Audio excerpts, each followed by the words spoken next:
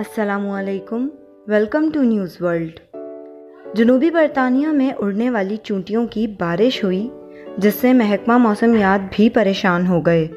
बरतानवी media के मुताबिक बरतानिया के जनूब मशरकी साहिल पर गुज्त रोज़ चूंटियों का बादल छा गया। महकमा मौसमियात ने पहले इसे बारिश समझा।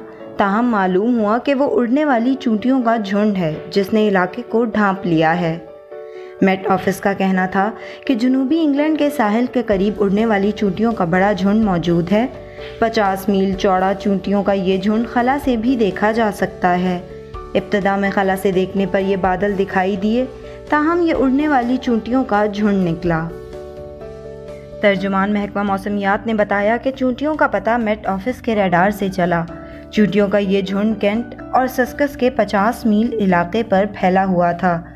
लंदन के ऊपर भी छोटे झुंड देखे गए। मेट ऑफ़िस ने इस सिलसिले में एक ट्वीट में लिखा कि लंदन, कैंट और सस्कस पर बारिश नहीं हो रही है। अगरचा हमारे रेडार ने यही कहा था, ताहम रेडार पर जो चीज़ नज़र आई है, वो उड़ने वाली चूंटियों का झुंड है। ट्वीट में मेट ऑफ़िस का कहना था कि मौसम गर्मा के दौरान चूंटियाँ आमतौर पर गर्म, मरतूब और बेहवा दिनों में, आसमानों में उड़ान भर सकती हैं।